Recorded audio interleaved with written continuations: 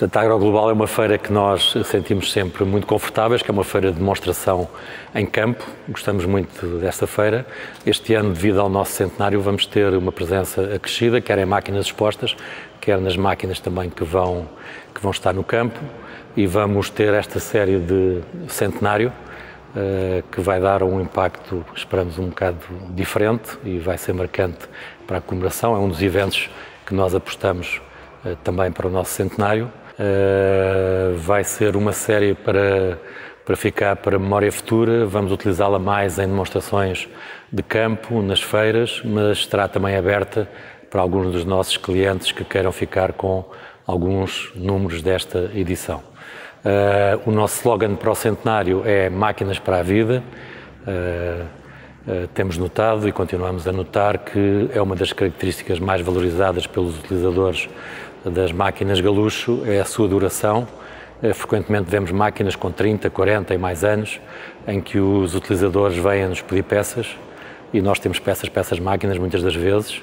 Poderia dizer que a Galucho, nos últimos 50 anos, eh, adiantou-se um bocado uh, em relação às tendências atuais e já é uh, adepta e cultora da economia verde e da sustentabilidade, porque realmente eh, conseguimos que as nossas máquinas durem, bastando mudar umas peças e muitas delas mantêm-se praticamente atuais e a desempenharem cabalmente as suas funções. A grande parte uh, da agricultura em Portugal ainda é uma agricultura mais tradicional e nós queremos, uh, dentro desse tipo de maquinaria, apostar cada vez mais na, na, qualidade, em produto mais fiável, com engenharia, com peças melhores, com uma manutenção mais eficaz e queremos também uh, apostar no serviço.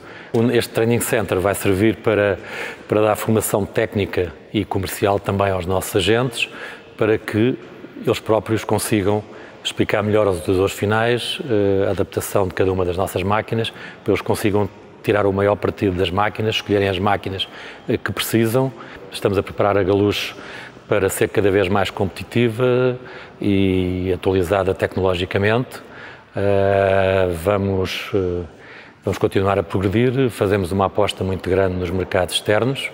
Nós, na nossa história, temos máquinas em cerca de 90 países no mundo inteiro. Obviamente, nós exportamos regularmente para todos, mas estamos a dar um enfoque especial nos mercados com alguma tecnologia, onde temos algumas parcerias e vamos cada vez mais criar parcerias a nível de desenvolvimento tecnológico.